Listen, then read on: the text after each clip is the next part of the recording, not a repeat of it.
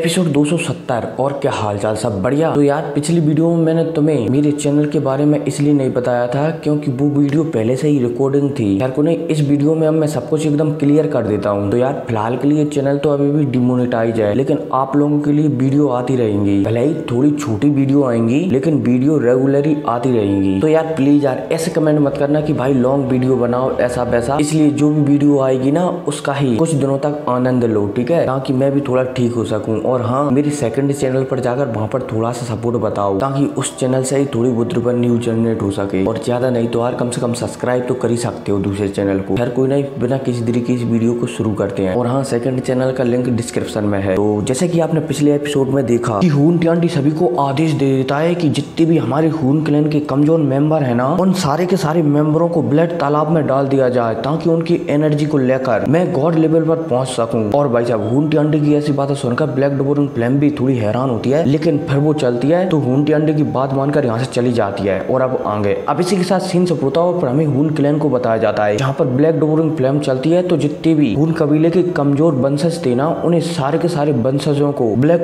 Pool में फेंका जा रहा था। जो भी बंसज ज़्यादा उछलता था ना, उसे ब्लैक डोबोरिंग फ्लेम सबसे पहले फेंक देती थी। अब इसी के साथ दोबारा से सीन से होता है पर हमें स्वर्णीय मखबरे को बताया जाता है। यहाँ पर हमारा जान बहुत बड़ी मूर्ति के साथ आ गया है। अब जैसे हमारा जान यहाँ पर आता है ना तो यहाँ पर बहुत बड़ी मूर्ति थी, जो कि ताउसी गॉड की थी, जिसके सीने में एक छेद भी था। हमारे जान चलता है तो इस मूर्ति को प्रणाम वगैरह कर कर इसके सीने में जो छेद था ना, उसी के अंदर घुस जाता है। हालाँकि अंदर जाते समय हमारे जान की तीसरे नंबर की हेवली फ्लेम निकलती है तो वो पूरी तरह से हमारी जान को कवर कर लेती है। हमारा जान ये भी जानता था कि वो भले ही इस मूर्ति के अंदर जा रहा है, लेकिन अगर ये मूर्ति चाहे ना तो उसे पलक झपकते ही मार सकती है, क्योंकि गुयान और ड्रैगन किंग एम्पर तक के बड़े बड़े योद्धाओं तक इस मूर्ति ने घुटनों के भल ला दिया था। इसका मतलब ये मूर्ति उसे पलक झपकते ही मार सकती है। हमारा जान चलता है तो इस मूर्ति की सीने के अंदर घुस जाता है। अब जैसे हमारा जान इस सीने के अंदर घुसता है ना तो हमारे जान को ये महसूस होने लगता है कि उसकी शरीर की कोई जाँच पड़ताल कर रहा है। इतने में अब हमारा जान एक अलग दुनिया में आ जाता है, जहाँ पर आग का समुद्र था। चारों तरफ़ हेवली फ्लेम ही फ्लेम जल रही थी। हमारे जान को बहुत सारी हेवली फ्लेम भी दिखती है, जो की हमारे जान की ही होती है और जान के चारों तरफ़ घूम रही होती है। ऐसा लग रहा होता है की मानो ये हेवली फ्लेम जान को बहुत ही अच्छी तरह से जानती हूँ। अब हमारा जान यहाँ के आस पीस का मुआवना कर ही रहा होता है, तभी यहाँ पर जितनी भी हेवली फ्लेम घूम रही थी ना, वो एकजुट होने लगती है। और इनसे एक बुढ़ा प्रकट होता है, जो की एक कमल के ऊपर ठाड़ा हुआ था। अब जैसे ये बुढ़ा प्रकट होता है ना तो इसकी आवाज़ गूंजती है कि ऐसा लगता है कि किसी ने मेरे ताउसी महल को खोल दिया है, जो मैं पीछे छोड़कर गया था। अब जैसे ये आवाज़ जाती है ना तो हमारा जान तुरंत मुड़ता है और उस आवाज़ की दिशा में देखने लगता है। इतने में हमारे जान को सामने एक बुढ़ा ठाड़ा हुआ दिखाई देता है, जो की हरे कलर के कपड़े पहने हुआ था। हमारा जान चलता है तो वो तुरंत समझ जाता है कि ये शायद ताओसी गोट का जो सूल रहती है ना, आत्मा रहती है ना, उसका एक टुकड़ा है। हमारा जान चलता है तो यहाँ पर तुरंत झुककर ताओसी गोट को प्रणाम वगैरह करने लगता है कि नमस्ते, एल्डर। जूनियर जान आपको ग्रीट करता है। अब जैसे यहाँ पर ये बुढ़ा हमारे जान को ऐसा अपने आप को सम्मान देते हुए दिखता है ना तो ये बुढ़ा चलता है तो सिर्फ़ अपनी एक उंगली मतलब की हिलाता नहीं है, सिर्फ़ ये कहता है कि इस पर आकर बैठ जाइए। अब जैसे ये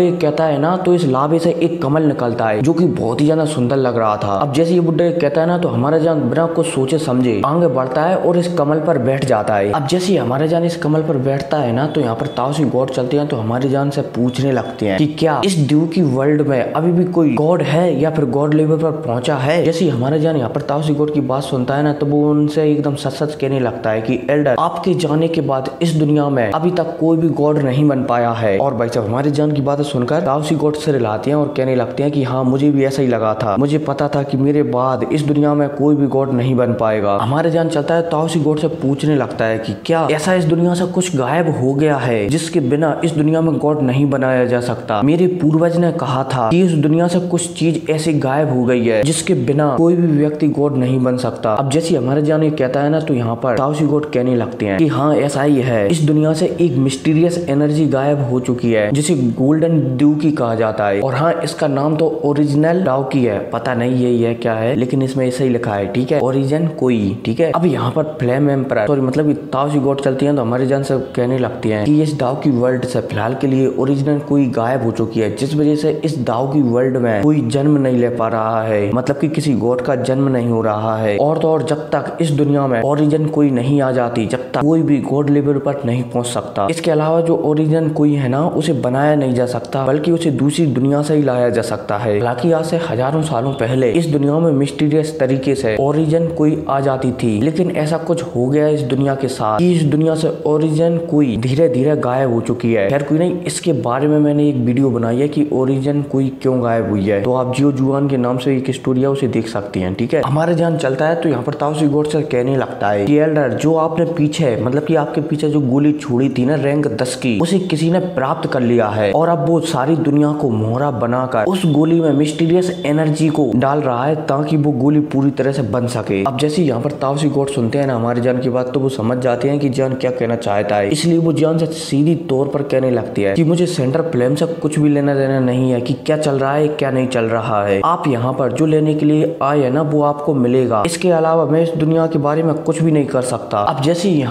पर ताउसी गॉड कहते हैं ना तो हमारे जान के चेहरे पर मुस्कुराहट आ जाती है, वो समझ जाता है कि ताउसी गॉड उसे गॉड बनाकर ही रहेंगे। अब इतने में हमें ताउसी गॉड को बताया जाता है, जो कि सिर्फ़ अपना हाथ ऊपर उठाते हैं और हाथ ऊपर उठाते ही उनके हाथों में, जो हमारे जान के पास तीसरे नंबर की हेवली फ्लेम थी ना, वो उनके हाथों में आ जाती है। अब जैसे ताउसी गॉड इस तीसरे नंबर की हेवली फ्लेम को देखते हैं ना तो उनके चेहरे पर मुस्कुराहट आ जाती है। यहाँ पर ताउसी गॉड कहने लगते हैं कि pure fine demon lotus flame ऐसा लगता है कि हम बहुत हज़ारों सालों के बाद मिल रहे हैं। इतने में हमें लिटिल ई को भी बताया जाता है, जो कि ताउसी गॉड को घूर उड़ कर दिख रही होती है। और कुछ सोचने की, बोले जाए तो याद करने की कोशिश कर रही होती है, लेकिन लिटिल ई को कुछ भी याद नहीं आ रहा था। ताउसी गॉड भी समझ जाते हैं कि शायद इसकी याददाश्त जा चुकी है। इतने में ताउसी गॉड हमारे जान की ओर देखते हैं और देखते ही पहचान जाते हैं और हमारे जान से कहने लगते हैं कि ऐसा लगता है कि तुम जिस डाव की मेथड का इस्तेमाल करते हो ना, वो मेरा ही है। मेरे ख्याल से तुम एक ऐसे डाव की विधि का अभ्यास करते हो जो हेवली फ्लेमों को आपस में मिला सकती है। अब जैसे हमारा जान यहाँ पर ताउसी गोड की बात सुनता है ना तो वो हैरान हो जाता है कि ताउसी गोड को भी फ्लेम मंत्रा के बारे में पता है। हमारा जान चलता है तो यहाँ पर ताउसी गोड से पूछने लगता है कि येल्डर क्या इस फ्लेम मंत्रा को आपने बनाया था? ताउसी गोड चलते हैं तो वो मना करने लगते हैं कि नहीं नहीं, ये फ्लेम मंत्रा मेरा नहीं है। मैं सिर्फ़ इसका इस्तेमाल करता था आज से हज़ारों लाखों सालों पहले। जब मेरी आत्मा बन रही थी ना, उसी समय अचानक से ये मेरी आत्मा के अंदर आ गया था। अब पता नहीं ये मेरी आत्मा के अंदर से कैसे आया।